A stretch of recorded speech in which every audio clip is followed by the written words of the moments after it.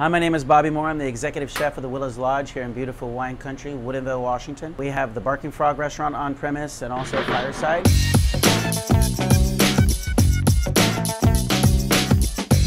Today we are going to learn how to break down a salmon and so let's uh, come on with me. These are king salmon that we brought in from the Columbia River.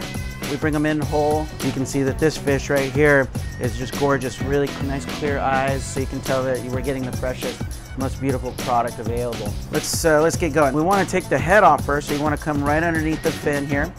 All right, just cut that here, and you want to come down with a nice sharp boning knife right around um, the cheek here. Turn this beautiful fish over, and then I'm going to go under the collar and go and kind of meet where we uh, we started on the other side and just go right through that bone take that off the head meat out of out of here we scrape it with a spoon we try to use every single bit of the fish um, from the head to the tail we're gonna fillet this um, I'm just, just gonna turn this here I have this really nice large scimitar, scimitar um, knife. I definitely want to have a knife that can get through the whole fish. Here. Now what we're going to do here is we're going to get right on this uh, the spine here with the knife. Um, and I'm just gonna push. You wanna hold this flap here and you wanna make sure you keep your hands out of the way. So a lot of times um, I'll use a towel on top just so if the knife does slip, it's gonna hit this towel and it's not gonna cut right through my hand. Um, so just nice and smooth, just keep pushing, kind of a rocking action. Wanna make sure you're getting under that belly over there, okay? Just slowly pushing down, keeping the knife flat on, this, on the uh, cartilage, on that bone. Oh, that's a gorgeous, gorgeous cut. There really are no true rules when you're you know, butchering your salmon.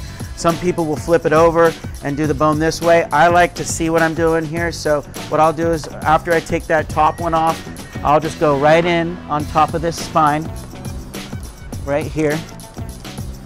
And then I'll just push, uh, now I'm pushing up and having some nice force going all the way with a rocking sensation here, all the way to the tail. We're gonna take a spoon. Look at all that meat. You don't wanna waste that. You can make like a little salmon mousse with that. You can do a little um, appetizer for your friends when they come over. Okay, so now we have the filet. So we're just gonna come underneath the bones here and we're gonna just follow kind of the natural progression of how the fish is. We're just coming down, we're following the, the, the bones, that rib cage here, all right, so then this will take off. We can scrape that also. Now it's time to switch knives, and we're just gonna take that belly off here. Just cutting down, and lay that in a pan and put it on a smoker and smoke, smoke it. It'd be really nice. There's still part of the cartilage from the bone left on there. I come under that bone, work my way back here. Then I lift this up, just follow, I kind of lift. I try to, I try to do it in one piece. Sometimes it works out, sometimes it doesn't.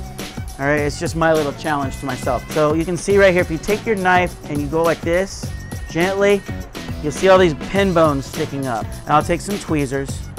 There it is. So there's the pin bone. So we'll just go down the line and take all those pin bones out. Now that we have all the pin bones out, clean up that tail piece. Then I want to show you a nice portion of some skin on salmon. All right. Isn't that gorgeous? Look at that skin. And that's how we fillet a salmon here at the Barking Frog.